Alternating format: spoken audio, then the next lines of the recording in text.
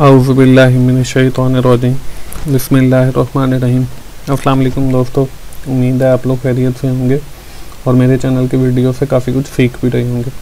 दोस्तों, आज की जो मेरी वीडियो है वो M G T two eleven introduction to business का क्विज़ नंबर जो फोर आया हुआ है उस हवाले से है। आई थिंक ये हमारा आखिरी क्विज़ है इस सेमेस्टर में। तो आइए हम लोग अपने क्विज़ की तरफ़ चलते हैं। इसमें फ़र्स्ट क्वेश्चन है Dairy farm uh, sells its product by helping the buyer. It is called creative selling है मिशनरी सेलिंग है इंडस्ट्रियल सेलिंग है और कंज्यूमर सेलिंग है। Uh, जब कोई भी प्रोडक्ट सेल की जाती है to help out the buyers तो वो हमारी इंडस्ट्रियल सेलिंग होती है। तो इसमें हमारा जो थर्ड वाला है वो इसका ठीक जवाब होगा। नेक्स्ट क्वेश्चन है जी which type of consumer show doubtful behavior because of uh, deception from any seller in the past. Aggressive customer है spective कस्टमर है लॉयल कस्टमर है और इम्पल्स कस्टमर है.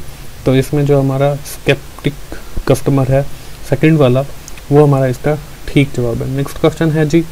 Customer is convenience to buy the product in comparison with other customer product is called comparative advertising है persuasive advertising है reminder advertising है और word of mouth advertising है। तो इसमें हमारा जो फ़र्स्ट वाला है कंपेरेटिव एडवर्टाइजिंग ये हमारा ठीक जवाब होगा। नेक्स्ट क्वेश्चन है जी at the fill in the blank stage the personal selling process a sale person being converted a per, uh, prospect into a creating a desire for the product he or she is selling.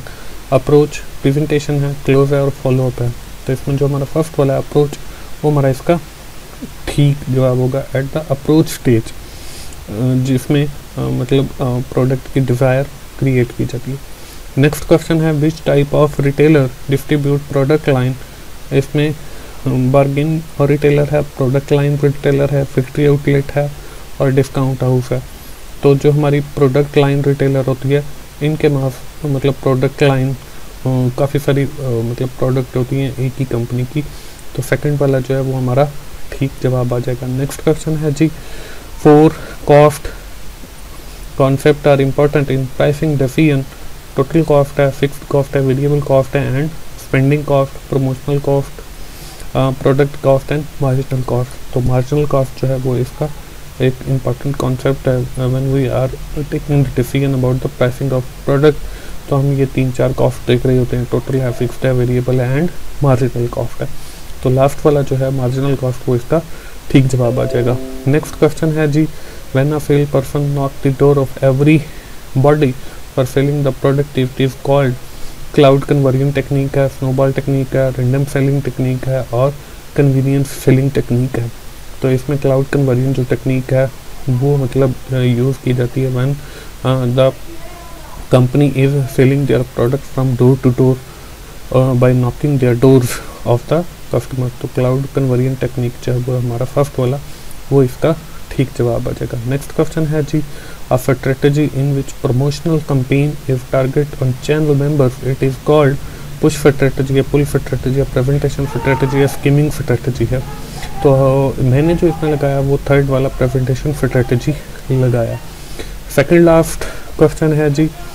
Display the product और the different places is called trade show है publicity है personal selling and public relation तो publicity is a technique where the product display the different stage places it is called publicity तो publicity second वाला जो है, वो हमारा इसका ठीक जवाब आ जाएगा। लास्ट क्वेश्चन है जी Saqib give the cloth to the tailor for stitching and advise him to get give back in three days due to upcoming marriage ceremony of his brother it is called form utility है place utility है time utility and ownership utility है।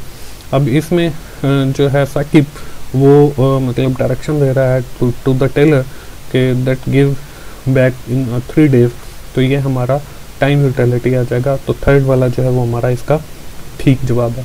दोस्तों ये था हमारा quiz M G T two eleven introduction to business का।